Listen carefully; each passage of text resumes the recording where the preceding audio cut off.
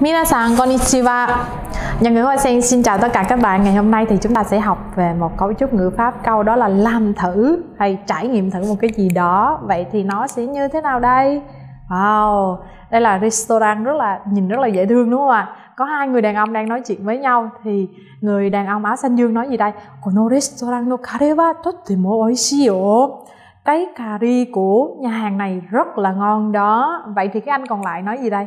À, số deska kondo tabetemimas vậy hả? Vậy thì lần tới tôi sẽ ăn thử vì chúng ta có cấu trúc ngữ pháp câu là gì? Temimas đúng không ạ? Hay.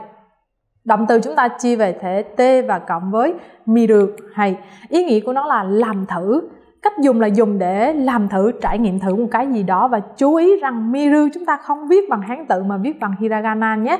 Và miru có thể chuyển sang là mitai hoặc là mite kudasai hoặc là mimasenka, vân vân. Hay. Và ví dụ đầu tiên là gì đây? À cô nàng này đang nấu cái gì đó khói nghi ngút trông có vẻ rất là hứng, phấn khởi đúng không ạ? Nene rame go tsukutta yo tabete mite kudasai nè, em đã nấu mì rồi đó, anh ăn thử đi. Hay tamete mite kudasai và tương tự như vậy à, đây là một cái chiếc áo kimono màu đỏ rất là dễ thương đúng không hả? Các em đã từng mặc thử kimono chưa? À cô thì cô chưa từng thử. Vậy bây giờ cô muốn nói là tôi muốn thử một lần mặc áo kimono thì sẽ nói như thế nào đây? Đúng rồi kimono ichido kitemitai desu kitemitai desu hai wow oishishou ne. Kore wa nan desu ka? À sushi desu ne? Hai.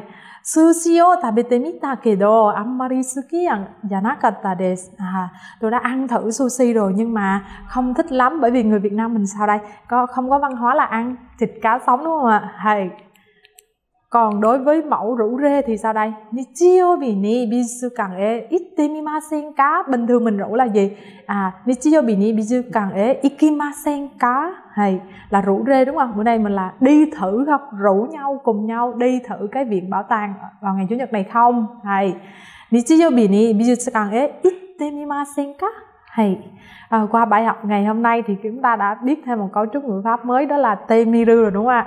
Bài học này rất là dễ hiểu và dễ nhớ luôn hay. Và cô có để đường link bài tập ở bên dưới nữa nhé. Nếu như mà bạn làm bạn nào làm đúng 100 điểm thì các bạn sẽ được một điểm tích lũy vào tài khoản của mình đấy. Hay minasan sayonara.